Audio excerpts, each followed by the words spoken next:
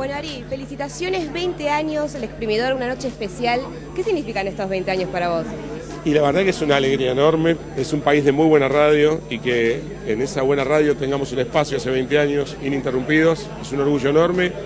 Acabo de llegar y no me puedo creer la cantidad de amigos, compañeros, ex compañeros, gente del mundo del fútbol, gente del mundo de la política, gente del mundo del espectáculo. Una convocatoria increíble.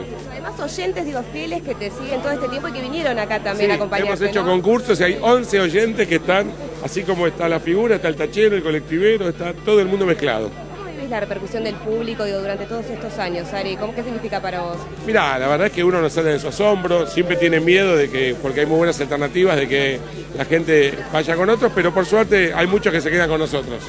Digo, fuiste cambiando de emisoras, ahora en Radio Latina y siempre la gente te sigue, ¿no? Sí, Radio Latina estamos muy bien porque incorporamos mucho interior y es cierto, hay un fenómeno en la radio que se ha dado que es casi único que nos siguen de radio en radio y bueno, ojalá que no nos quedemos mucho tiempo en la misma sintonía desafío, digo, cada programa, digo, para vos, ¿cómo lo vivís a esta altura? no, no, no, para mí es un nuevo examen, a las 6 de la mañana y a las 6 de la tarde entro como un novato y está muy bueno eso, está muy bueno porque renovás este, la motivación y sentís que no te podés dejar estar, así que por lo menos el intento lo hago. Así va muy bien, felicitaciones por estos 20 años y bueno, por muchos más. Y gracias. Felicitaciones al Canal 26 que también está cumpliendo 20 años. Gracias, ¿eh? Gracias a disfrutar, por supuesto, esta Gracias.